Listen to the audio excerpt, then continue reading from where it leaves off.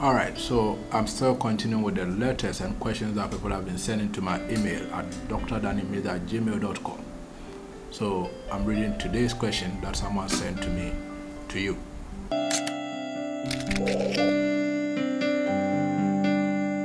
So the first question is How can I identify a gold digger in a relationship?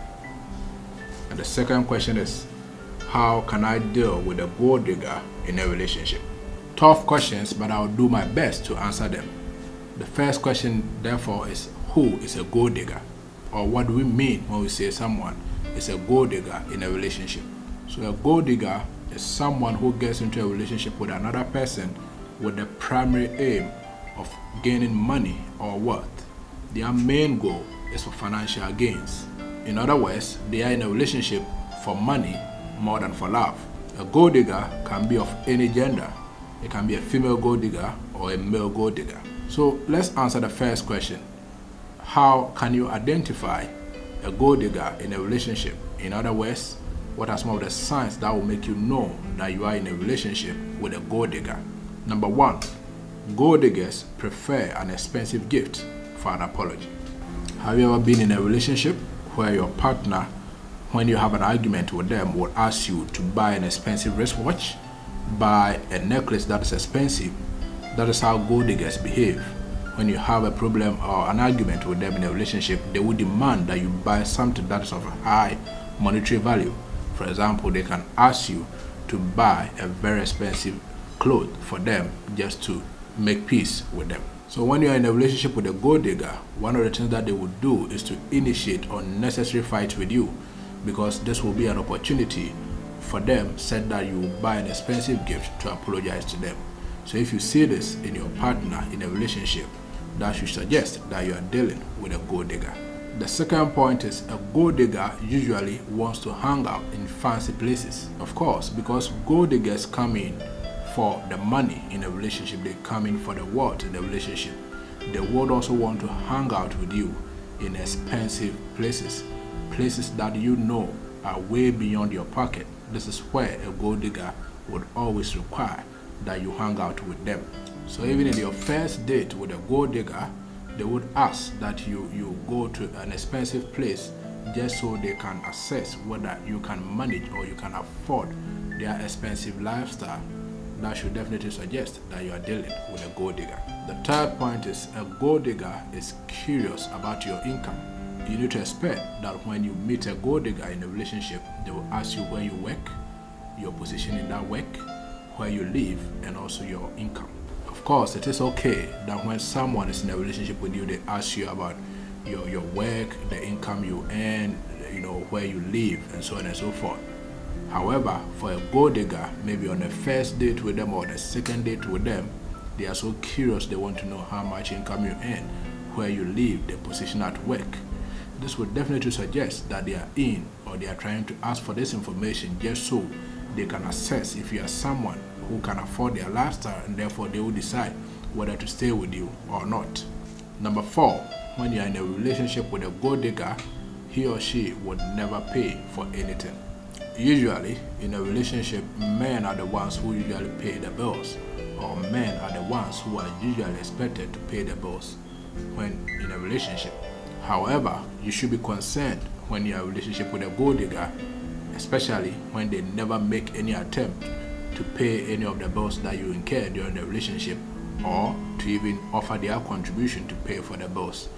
That would definitely suggest that you are dealing with a gold digger. Of course, when you are in a relationship with a gold digger, she would insist that men are the ones who have to pay for the bills in a relationship. Number five, gold diggers are ungrateful.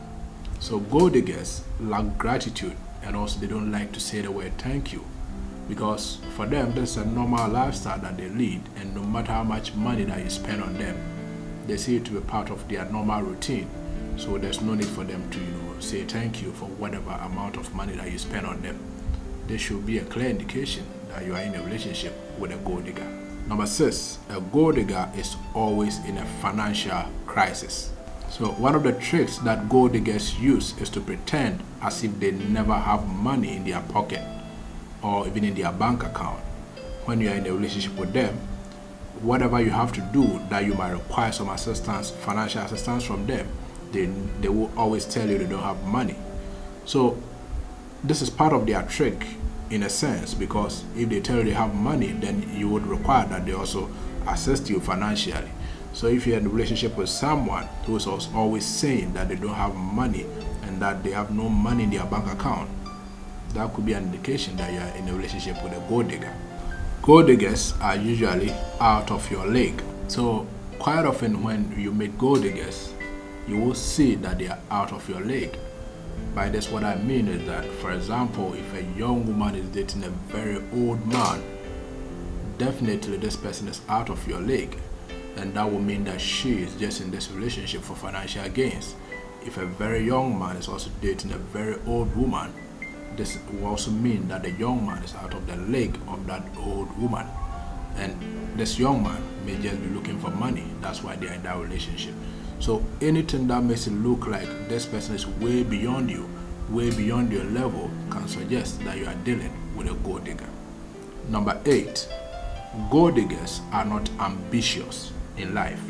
You have to beware of a partner who has no job and is not interested in finding one soon, or is not making any effort to try and find a job soon. A man who is a gold digger is not career oriented and will depend on you to pay for everything for them. Some of these male gold diggers have attractive looks. They are very handsome and will use this handsomeness to get you to give them your money so that they can spend it on themselves. Number nine, a gold digger would always be curious about your family background. Some male gold diggers will ask too many questions just to know about your family background. If they find out that your family background is good, that your people are rich, they will try to please you in every way, including taking you out on dates, taking you out on holidays, even to the point of marrying you. Unfortunately, such a man may dump you as soon as he lays his hands on your inheritance. Number 10. A gold digger loves shopping excessively. Another tip on catching a gold digger is by listening to what they have to say when it comes to money and investment. A man that is out for your money will always encourage you to go for shopping. When you are shopping with such a man, he would add expensive items to the shopping basket, but when it's time to go to the counter and pay, he would run away from the counter till you finish paying. He will also encourage you to buy things that will benefit them, even if these things are not your preference. So, what are some of the tips for dealing with gold diggers in your life? Number one, the best way is to get rid of a gold digger by cutting him or her off your life entirely. If you don't cut a gold digger off, he or she may continue using your money. Let's not forget that it may be difficult to cut a gold digger off if you are already in love with them. Number two, never let a gold digger know how much you earn. The point here is that if you discover that your partner is a gold digger, even if a gun is pointed at your head, never let him or her know how much you earn. If the gold digger does not know how much money you earn or how much money you have in your pocket, the number of times that he or she asks for money from you will reduce. The third point is never give the gold digger everything he or she demands from you. So if you give a gold digger everything that they ask for, anytime they ask for it, then they will be encouraged to always keep asking for more. You know? So if you can deny them sometimes when they ask for money, then the rate at which they ask for money from you will reduce.